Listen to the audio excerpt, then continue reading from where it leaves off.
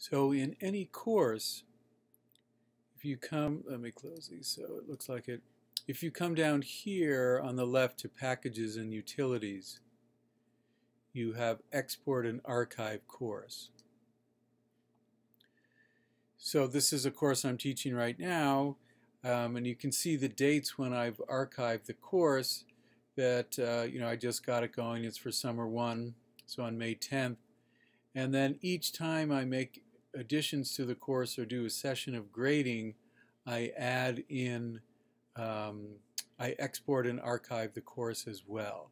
So what that means is uh, I have a record outside of Blackboard that's on my computer of everything that's in the course. So if something, if Blackboard totally crashed or whatever, I would have all the information. So each time I come here to export package, and then I come down here and select all the course materials because I want to save everything that's in there. So I can do submit. And then with archive course, I click right here.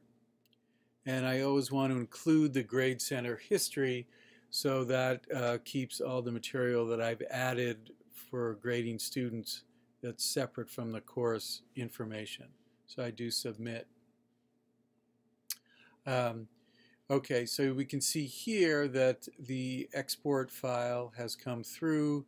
Click refresh and sometimes it takes a little while for that um, archive file to come through because it has the grade information and especially if students have uploaded documents or files like I think they do with your assignment sometimes uh, it might take a few minutes for that to show up. Um, whoops, sorry about that. Uh, okay, so right now it did show up. So today's the 20th. And what you can do is click on this little option right here to open it.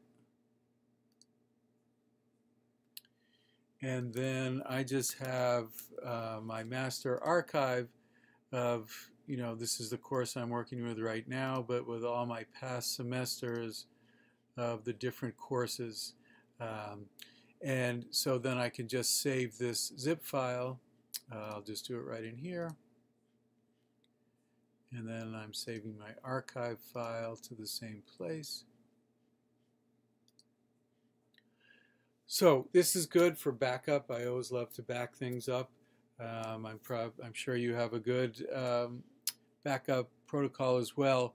But also what this means is when I teach this course again the next semester that if I go to Blackboard, the registrar puts in the course, but it's just basically an empty shell. But what I can do is um, down here where it says import package, say I'm in my new course, I can go to import package.